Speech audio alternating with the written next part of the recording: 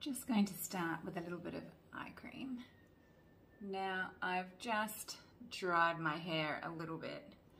So throughout this little tutorial, it'll start bouncing up a bit. So we'll see, we'll see if it annoys me or not. That's my eye cream. So I've already moisturized so and sunscreen, so I'm just gonna pop my primer on.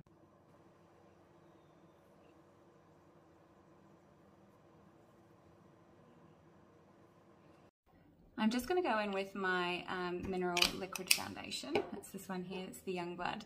Now, I'm going to pop a very light base on to start off with. Uh, I'm not going too close to my under eyes because I'm going to add some more at the end.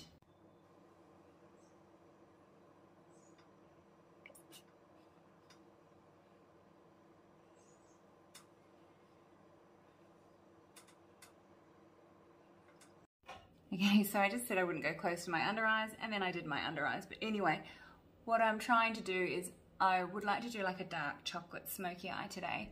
And I know there's gonna be some fallout, so we may have to clean up under there. This is a warmer foundation just to give myself a little bit of definition around the face. Just frame it, warm it up a little bit too.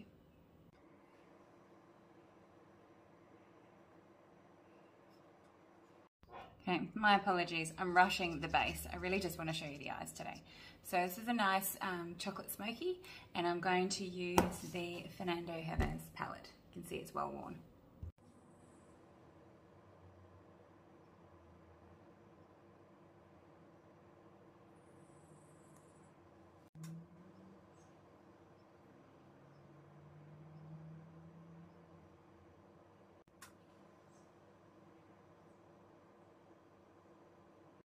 So I've basically just chosen that dark colour and coloured in the tops of my eyes. Now you can see what that's done is actually close my eyes off. So in order to open them up, we're going to use a slightly lighter colour and we're going to pop it into that crease.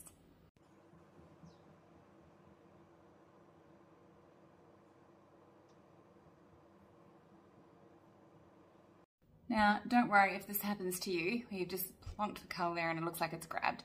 Grab your brush and a little, um, these are like exfoliating pads, and just Get rid of some of that excess powder and then just work it into that crease with little circular motions and windshield wiper motions. And you can just work that out. So don't stress, it will look better. And instantly that's blended that off a bit and it started to open that eye up rather than closing it off.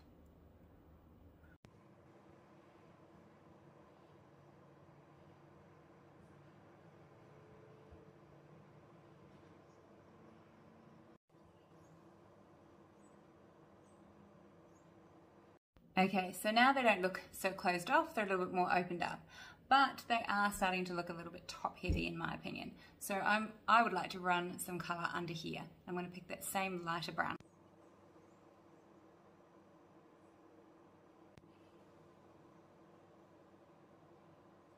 In order to separate my brows from the eye makeup, I do like to put a lighter color just underneath that brow.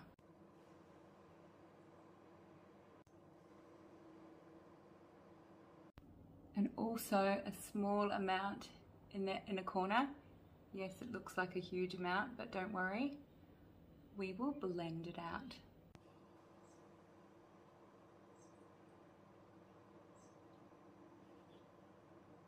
Okay, so it wouldn't be a chocolate smoky eye without my favorite chocolate art, chocolate eyeliner, sorry. Um, and I'm gonna pop that up in the tight line.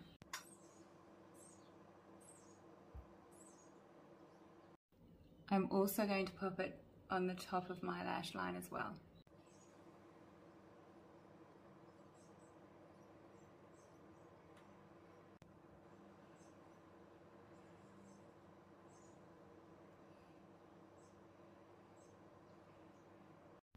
And a small amount just in the lash line here.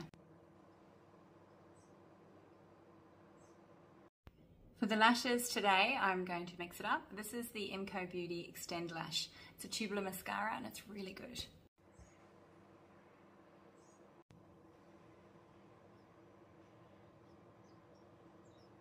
For the brows, because it's quite a dark look, I'm using Clinique's mascara once again. I find this such a clever little trick. You just have to be careful not to put too much in because it is mascara, so it is quite dark. But it really works a treat for my brows, like it's the perfect color. So that's like for me a little hack. And the brush is small, so just a tiny amount. And then I don't need any real brow gel either because it just holds it up. I will comb that through though.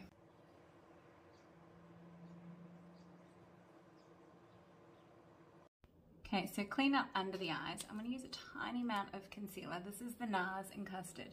Now you just want to sort of brighten the under eye area. So just a little bit here and a small amount here. And then we'll just sweep that out. So you don't want it too heavy because that's when it starts to get cakey and sit into your lines and creases.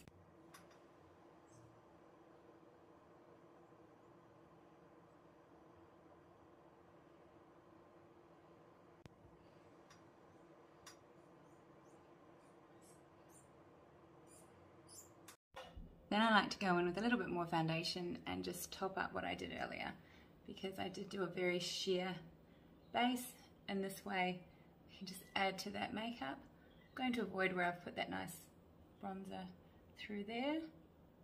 Just patting that in, kind of using the brush a bit like a beauty blender. So just tapping that in just to give myself that little bit more coverage. See, it's just a little bit more on that side. Still nice and dewy.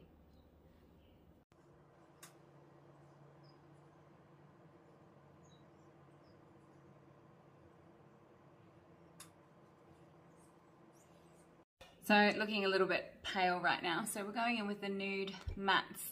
This is a, um, it's called Sunkissed. So it's like a, it's a face bronzer, it's a blush, it has a little brush at one end and the color at the other. Being a cream, it's quite nice to put this straight over because everything's nice, still nice and creamy. I haven't added any powder to my face yet. So I'm just putting that on my cheeks and up to give myself that bit of color and then I'm gonna brush that in.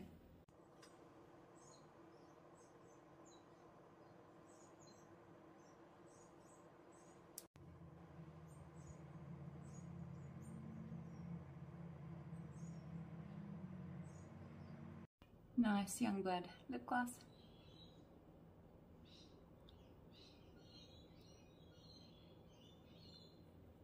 So from that Nude Collective palette, I'm just taking the light peachy eyeshadow and I'm using that as blush and just setting that creamy blush. And it works a treat.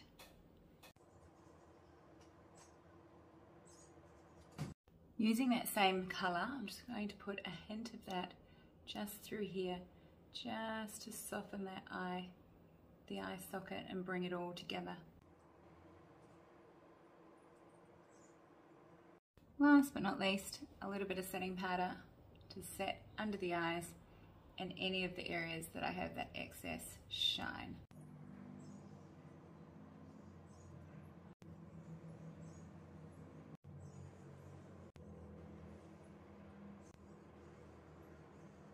Now that's the makeup. Now I'm just gonna go away, pop a little bit of something in this hair and see if I can make it look a bit better for you.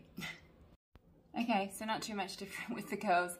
So anyway, that is my um, smoky eye using Fernando's Nude Collective palette. The link is in my bio should you wish to get one.